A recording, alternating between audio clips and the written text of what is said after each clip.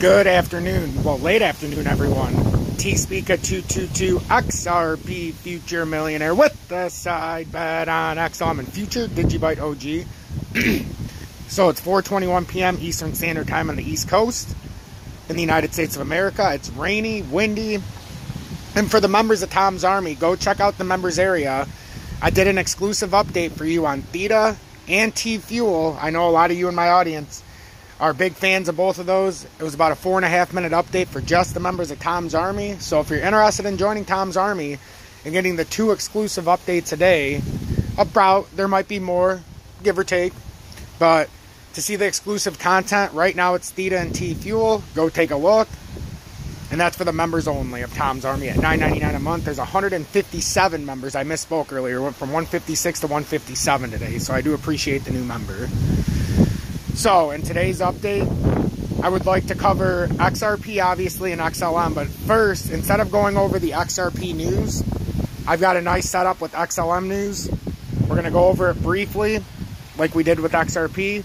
This will be our news section, as we do on every video now. And I just want to go over the coin or uh, XLM chart news, the technical analysis side of it. So, XLM's current market cap is 40.17 billion.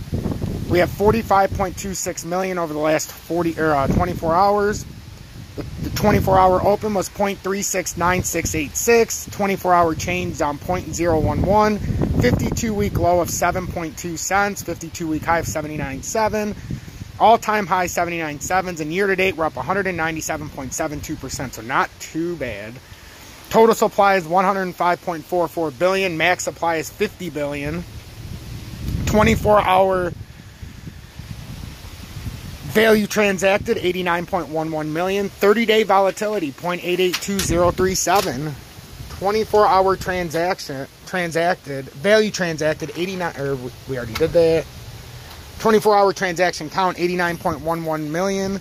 24 hour average transaction fee 0.000026 so very cheap to use. About Stellar, it is a currency. Notice it says currency. Value proposition payments and now we'll go over just a little bit about what XLM Stellar Lumens is in case you guys don't know, and then we're getting into the charts. Lumen XLM is the native cryptocurrency for Stellar, an open source blockchain payment system. The purpose of Stellar is to connect financial institutions via the blockchain and provide cheap transactions in developing markets. Jed McCaleb, a longtime cryptocurrency entrepreneur who founded Bitcoin exchange Mt. Gox and co-founded blockchain-based payment system Ripple Labs, created Stellar in July of 2014. Stellar uses a federated Byzantine agreement FBA algorithm instead of a traditional mining network to validate transactions. Since the transfer of lumens doesn't require approval from traditional cryptocurrency miners, the Stellar network enables quicker transactions than some other blockchain based systems. So that is very good information. So if we want to go over the market analysis, we've got over the last week up 0.08%, one month up 38.5%, six months down 9.14%, year to date up 188%, in one year's time up 357%. So not bad. So I hope that helps. Just some latest uh, numbers by the books for XLM so you can see exactly what's going on. Now, in the XRP chart, and I want to thank everybody for viewing my last video, but the video before that is approaching 3,000 views. I've only had one other video reach 3,000 views, so I am tremendously thankful for your guys' continued support. Make sure to hit that like button on this video so we can continue to trend up even higher. XRP has been very stagnant as we've talked about in the three hour or the one, three, five, 15 I want to do it, I think, in the 5 minute because there's just no volume coming in and you can see it. So in the 15 even. So like we talked about earlier, we're going to be trading between here, but we haven't even been able to get up. So we're, we're in a neutral continuation pattern. Like I said earlier, it might continue like this and then we'll ride this uptrend to a dollar thirteen.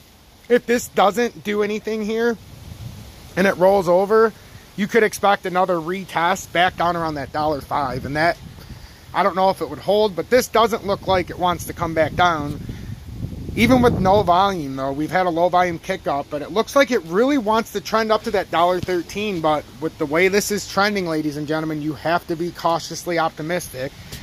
But also, if you're not in a position, this is not the time to buy. I would wait for it to break a dollar ten and hold that, or break a dollar thirteen and hold. So then you know at least you have a guaranteed move coming. The worst thing that could happen here is that Bitcoin was a fake out and it comes back down. Now, as you should see, everybody in my audience, and don't take this lightly, Bitcoin had 62,991. It had it pretty good. Well, now it's maintained and came down under that incredibly important resistance support line. It is currently using it as resistance, as to where all day it was using it as support. That is a key fact because the volume has not been great. And if this is the end of it, you've got an M on the top, and you could very well have finished off, and now you can come back down in this direction if that's the case. So pay very close attention to that 62,991. As I've said, my lines are time tested. Lewis, just because we're professional, Lewis, we should all be professional in here, Lewis. We have to go between the lines, Lewis. How else do I know if it's support resistance, Lewis? Thank you, Lewis, for giving me that intel, Lewis. So anyhow, back on track. So, like Lewis said, if we don't break 62,991 in an upward fashion and use it as uh, support, we're not going to be able to get up to 64,000. If we use this as underneath resistance, we're going to have to come back here at least to 62 where this started, and then possibly worse down to here. So that's what we're looking at if it, if it uses that as resistance. So that is a very bad sign for anybody who's in crypto right now. The fact that Bitcoin is trying to use it as resistance, I'm not going to say that's confirmed because it's a very small time frame. We'll see how the daily close goes today. So like we were saying with XRP, it very well just could be trickling out this right side and then collapse even farther. So I would say what I'm looking at in front of me, ladies and gentlemen, is not the most bullish of scenarios. The volume's crashing on the price coming down, so that's not terrible. It's just the movement we made to get up was not the best of motions. So that's basically what we're looking at. A retest up here to try to get the 113 after breaking that. And this is where I would personally buy in if I was looking, if it could hold that 110. But I wouldn't even buy there. I'm just saying, I wouldn't buy right here. If we could hold that 108.5 retest again in the three minute, that could absolutely be a play. Me personally, when it comes to XRP and XLM, I'm on the sidelines. I actually am in a trade, a couple of them, but one of them is in the well, most of them are in the stock market. I'm in fuel cell. I bought $2,500 worth at $7.28 earlier, so that was a pretty quick, you know, little move up. And then as um, IQ knows, we're in wheat and Precious Metals, and we're up a couple percent over the last couple days. IDEX is up a little bit. I am actively in iBio as well in the stock market. At 77 cents, I have 3,000 shares, so that's barely up. So anyhow, just to look at what I'm doing in the stock market. Uh, let's see now XLM. So with XLM, as we've talked about, we've got very heavy uh, resistance in this area.